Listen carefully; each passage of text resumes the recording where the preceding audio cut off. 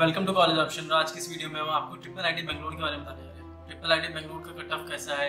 उसकी seat matrix क्या है? उसके अंदर एडमिशन की क्राइटेरिया क्या है? और उसकी प्लेसमेंट ये सब कैसा है? तो हम इस कॉलेज के बारे में बताएँगे। तो चलिए दोस्तों, इस वीडियो में देखते हैं और जानते हैं ट्रिपल आईटी बेंगलोर के बारे में।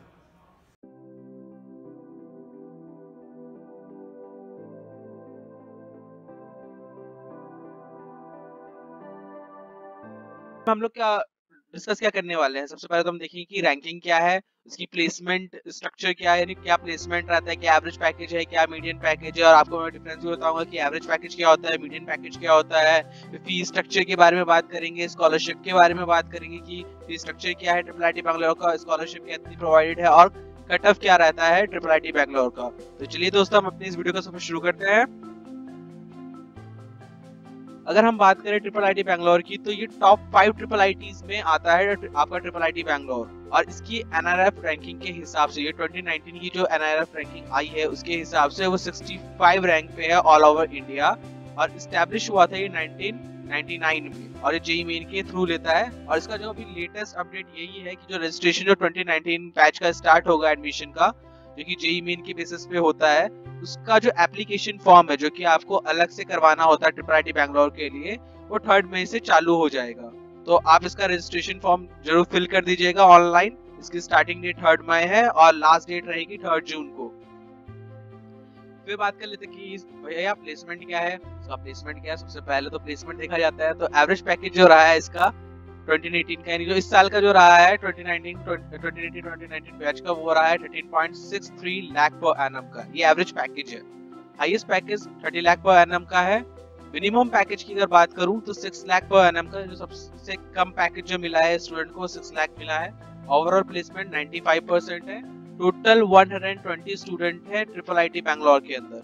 उनमें से 95 परसेंट बच्चों का प्लेसमेंट हुआ है, यानी 114 स्टूडेंट्स का, जिसमें से जो बाकी जो छह बच्चे हैं, उनका वो आउट ऑफ़ कंट्री पढ़ने गए हैं, वो हायर स्टडीज़ के लिए गए हैं। जबकि सीएस की जो प्लेसमेंट है, वो है 99 परसेंट एंड मीडियन पैकेज जो है, वो है 13 लाख पर एनम अब मैं बात करता हूँ मीडियन पैकेज और एवरेज पैकेज क्या होता है। एवरेज पैकेज आप जानते हैं कि सबको सम किया, हमने डिवाइड कर दिया।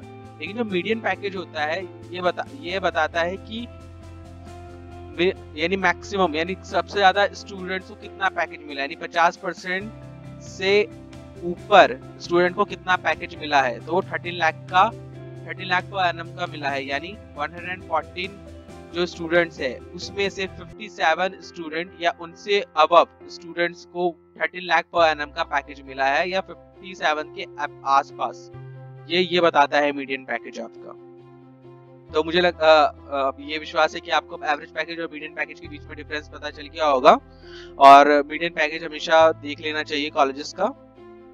अब बात करते हैं कि कंपनीज़ किस टाइप की आई थी जिनमें ये बच्चे प्लेस्ड हुए जो 114 स्टूडेंट जो प्लेस्ड हुए हैं आपके वो कौन सी कंपनीज़ में यानी किस तरीके की कंपनी थी? कंपनी का प्रोफ़ाइल क्या था? जो प्रोडक्ट बेस्ड कंपनी थी उसमें 55 स्टूडेंट प्लेस्ड हुए हैं। 114 स्टूडेंट्स के क्या ये है पूरा डिटेल जितने बच्चे प्लेस हुए उसमें का आईटी सर्विसेज़ के अंदर, यानी जो आईटी कंसल्टेंसी आते हैं, जैसे आपका विप्रो हो गया टीसीएस हो गया, इन सब में 19 बच्चे प्लेस्ड हुए हैं। बीएफएसआई सेक्टर तीन बच्चे। बीएफएसआई सेक्टर का मतलब है बैंकिंग आपका बैंकिंग हो गया फाइनेंशियल सर्विसेज़ हो गया इंश्योरेंस कॉर्पोरेशन हो गए जिसके अंदर भी सी वाले पर्सन चाहिए होते हैं। इसलिए इस सेक्टर में सिर्फ़ तीन स्टूडेंट्स प्लेस्ड हुए हैं। आर एंड डी में, यानी रिसर्च एंड डेवलपमेंट में, यानी जो रिसर्च फ़ील्ड में जो बच्चे प्लेस हुए हैं, वो अराउंड 16 स्टूडेंट्स प्लेस्ड हुए हैं कॉलेज से एकेडमिक में।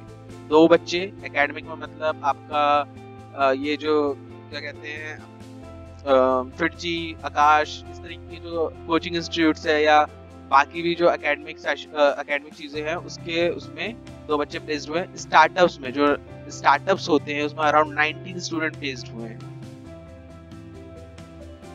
ये जो ये प्लेसमेंट स्टैटिस्टिक्स है इसी साल आ, इसी साल का सॉरी ये 2019 2018 टू 2019 का है।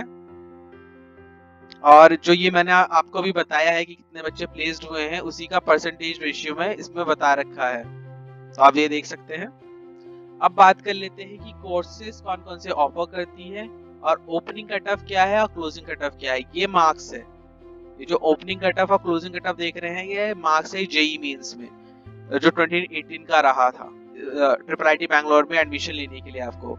और इधर जो ये है, ये सीट मैट्रिक्स है। कंप्यूटर साइंस इंजीनियरिंग में 90 सीट्स है, जबकि इलेक्ट्रॉनिक्स एंड कम्युनिकेशन में 30 सीट है। अच्छा एक और चीज़ आपको बता दूँ सिर्फ़ बीटेक कोर्सेज ऑफ़र नहीं करता, ये five year integrated course offer करता है, यानी बीटेक प्लस एमटेक का कोर्स ये ऑफ़र करता है। और अगर आप बात करेंगे कि क्या इसकी ओपनिंग कट ऑफ़ रहती है तो 202 पे ओपन हुआ था, जबकि क्लोजिंग कट ऑफ़ जो रही जो लास्ट राउंड तक जो गया था, वो 182 पे गया था, आपका कंप्यूटर साइंस इंजीनियरिंग के लिए, जबकि electronics and communication last cut off था 170 मार्क्स पे। यानी जिस बच्चे के 170 मार्क्स थे, उसका हुआ था, इसमें कोई भी कैटेगरी नहीं होती, यानी सारे जनरल्स में ही जाते हैं एडमिशन इसमें। और एक और चीज़ मैं आपको बताना चाहूँगा, जो आपका जो ट्रिपल आईटी बैंगलोर है, ये प्राइवेट इंस्टीट्यूट है।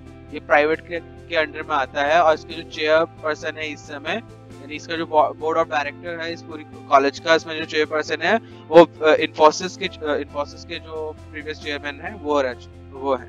फ़ी स्ट्रक्चर की बात करें तो per year 2.65 lakh per year का फ़ी स्ट्रक्चर है। मैथ्स की फ़ीस की बात करें यानी खाने की तो पचास हज़ार रुपए पर ईयर है।